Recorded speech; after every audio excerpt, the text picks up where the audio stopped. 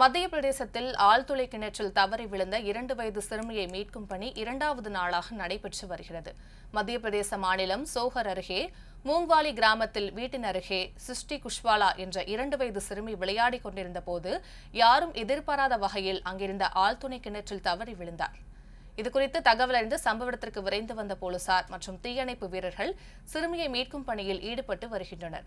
சிறுமியை மீட்கும் வகையில் ஆழ்துணை கிணற்றின் பக்கவாட்டில் பொக்லைன் இயந்திரங்களை கொண்டு பள்ளம் தோண்டும் பணி நடைபெற்று வருகிறது. முன்னூறு அடி ஆழமுள்ள ஆழ்துளை கிணற்றில் விழுந்த சிறுமி முப்பது அடியில் இருப்பதாக அதிகாரிகள் தெரிவித்தனர். சிறுமியை பத்திரமாக மீட்பதற்கான பணியில் இரண்டாவது நாளாக ஈடுபட்டு வருகின்றனர்.